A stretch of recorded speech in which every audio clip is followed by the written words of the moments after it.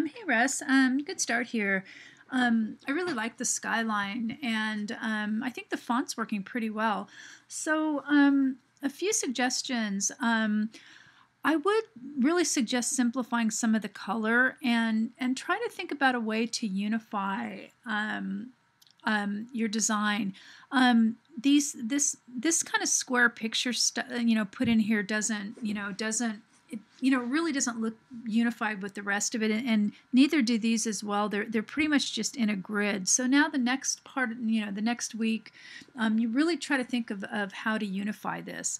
I would not um, you know I wouldn't put a box around this. I'm not sure what Deadly Plaza is but um, let me see if you included any no, you didn't include any citations or anything that you trace, so you really have to get that in because then I can look and see what you're trying to do with it. Um, so you could just maybe use um, part of this or have the road. You know, you don't necessarily have to, um, you know, specify what it is if it's, you know, kind of recognizable. Um, so again, um, I'm just going to show you, I think I've showed you these before, but um, this is how this one person um, unified hers. Um, you can see that the color is very simple. Like I'm sure the Ferris wheel wasn't blue and orange, and I'm sure the buildings weren't either, but that's the color is really what unifies this. Um, so as I mentioned before, just really simplify the color um, and think of how, how you want to arrange these. Um, let me show you another one I just graded. Um, this is actually one of your classmates.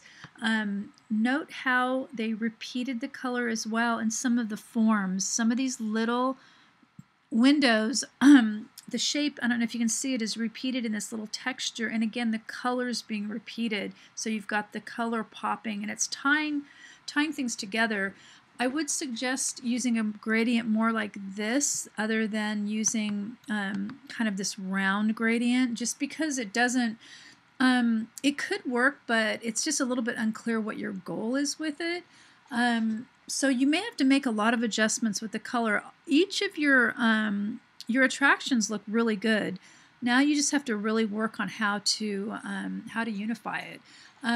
For Dallas, Texas, again, as mentioned in the video, um, Dallas should be a lot bigger and then Texas underneath it. And if you're going to have the tagline, put it up closer um, and don't center everything. Centering tends to look really static. Um, you may want to go and study some of these posters. Um, this is in the announcements, and I think it's called, I put like research and inspiration. You know, I know people don't read any of this stuff, but um, again, notice how what's unifying these posters. Now, obviously, all the buildings aren't orange with this one um, blue one. But again, repetition of the white sails, repetition of the color, um, repetition of the rectangular form. Same here, color repeating. And see how this is laid out.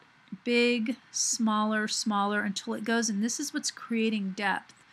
Um, so, and again, um, I love that one, but that doesn't really fit into what we're doing. Um, but again, notice again what's working to unify this and the different elements they're using. Um, same here. Really pretty simple, right? But one, two, three, four, five attractions, but very simple. Um, same here. So again, if you're going to make the city, make it kind of, you know, bigger and then make the state really small. Um, you really don't even need that. And see, there's the tagline up at the top, the city by the bay. Um, here's another one. This is the same artist, obviously. So just study these if you need to. You can do your own searches. I mentioned all these different things to do. Um, so by studying the way these are laid out, that's really how one learns. So um, again, um, pretty good job this week. Just need to get the, the, you know, get some unity down. And I'd make the star a little smaller.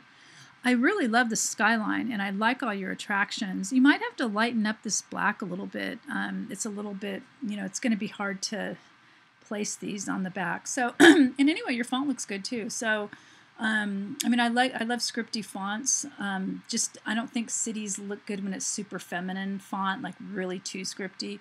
Um, okay, so let me know if you have any questions, and um, really nice job on these. Just um, yeah, I know that I know it's hard to create Unity, but that's kind of what design's about, and it'll be a good lesson. And again, I would simplify some of these colors. There's just a lot going on here. Um, okay,